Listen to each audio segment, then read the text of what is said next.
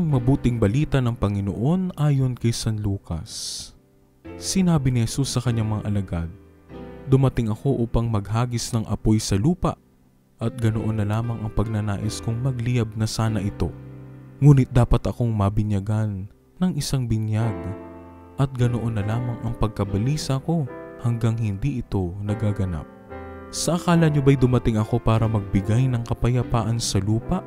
Hindi sinasabi ko sa inyo, kundi paghihiwa-hiwalay. Pagkat mula ngayoy, magkakahati-hati ang limang nasa isang sambahayan. Tatlo laban sa dalawa at dalawa laban sa tatlo.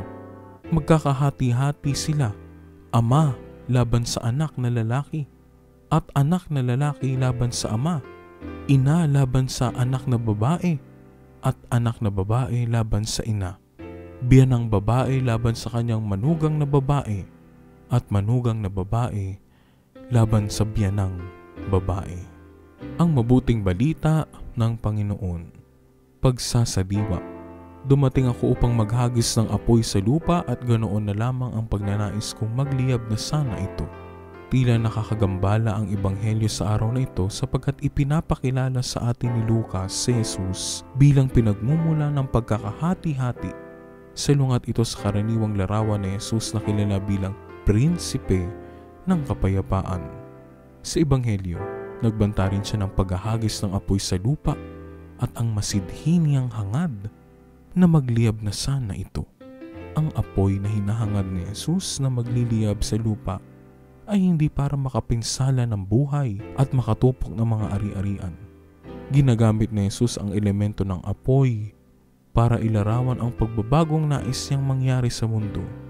Gagawin niya ito sa pagpapahayag ng Ebanghelyo sa mga tao at patototohanan niya sa dakong huli ang magandang balita sa paraan ng pag-aalay ng kanyang buhay sa krus.